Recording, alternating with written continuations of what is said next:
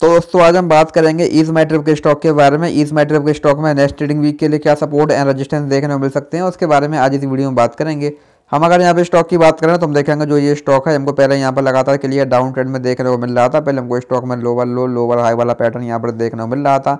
लेकिन फिर स्टॉक ने यहाँ पर सपोर्ट लिया, जिसके बाद से अभी अगेन हमको स्टॉक में लगातार तेज़ी देखने को मिल रही है। अभी अगेन हमको स्टॉक में हाइयर हाई हाइयर लो वाला पैटर्न यहाँ पर अगेन देखने को मिल रहा है।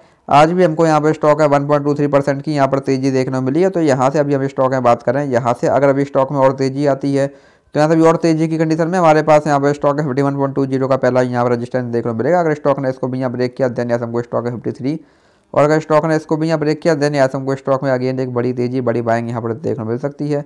इसके बाद हमको यहाँ पे स्टॉक है फिफ्टी एट देन यहाँ से हमको स्टॉक में सिक्सटी थ्री और अगर स्टॉक ने इसको भी यहाँ ब्रेक किया देन यहाँ से हमको स्टॉक में अगेन सिक्सटी एट और उसके बाद हमको यहाँ पे स्टॉक में सेवेंटी सेवेंटी फाइव तक के लेवल्स भी यहाँ पर देखने को मिल सकते हैं। तो वही यहाँ से अब अगर स्टॉक में गिरावट आती है तो यहाँ से गिरावट की कंडीशन में हमारे पास यहाँ पर अभी स्टॉक फोर्टी एट का पहला यहाँ पर सपोर्ट देखने को मिलेगा। अगर स्टॉक ने इसको भी यहाँ ब्रेक किया देन यहाँ हमको स्टॉक में फोर्टी फोर एंड देन यहाँ हमको स्टॉक में अगेन फोर्टी टू तक के लेवल्स भी यहाँ पर देखने को मिल सकते हैं एज ए नेक्स्ट यहाँ पर सपोर्ट तो स्टॉक में कुछ इंपॉर्टेंट लेवल्स हैं, आप इन पर ध्यान दे सकते हैं। बाकी वीडियो में कोई बाय सेल होल्डिंग सलाह नहीं है। वीडियो केवल एजुकेशनल पर्पज़ के लिए है। धन्यवाद।